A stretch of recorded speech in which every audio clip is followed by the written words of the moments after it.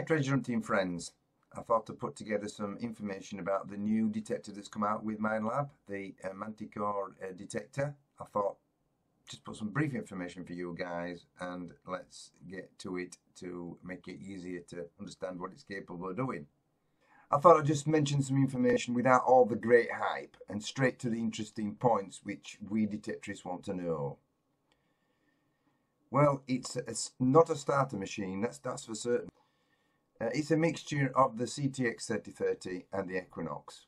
Uh, the stems are made of uh, carbon fibre, which is great news. So the problems that we had on the Equinox, hopefully we're not going to get it on this particular detector.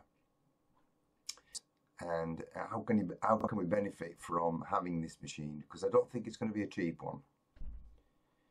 Um, it's a, a lot lighter, so it's claimed that it will go 50% deeper uh, than the Equinox, which is something we'd like to see. It's also waterproof under 5 metres, which is great um, for those people that go in the water, which is I'm one of those guys that do. I love going in the water, detecting in, in, in the sea. The main thing I think is the faster recovery speed, which is which is great. Uh, yeah, I think that that'd be that'd be what we want is faster recovery speed, and also apparently improved discrimination uh, uh, on the detector, which obviously we want to dig less trash out and more um, greater targets. Apparently this machine has a, a great uh, notching system on it, so we're just going to be eager to find out what type of notching that it is, is capable of doing.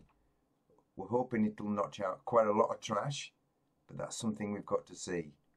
It's definitely an advantage, no doubt about it. Less trash, more positive targets. That's what we want to get. Uh, I think this also has enhanced audio. Unfortunately, for a full test and to get a really good idea of this machine, in, you need to try it on pasture, ploughed land, rivers, beaches, and in the sea for a, a good while before you can make some sort of assumptions whether it's a good machine or not. And it's going to take some time to understand it at all those different levels. So it's not a switch on and go type machine or just let's twiddle a few programs and away we go. I mean, it does have factory settings, but you know and I know we all like fine tuning and UK price is about uh, £1,800, which is not cheap. Of course, I want to know, you know, what it, what, what will it dig? Will it dig small bits of uh, gold? That's what I want to know. Small bits of gold, small chains. I mean, chains. We don't dig chains, so it's hard to dig chains. So I'd like to like to see if it digs at small gold chains, uh, broken rings, earrings, gold. That that'd be interesting to know. Um, yeah, I, would like to have a go and, and see what I whether what I think about it. I think it's it's all looking positive and interesting, and it, the right points. Any further information that, that, that I can get my hands on, uh, I, I shall put it together on a video and let you know. Thanks for watching, and um, let's just hope this is going to be a good one.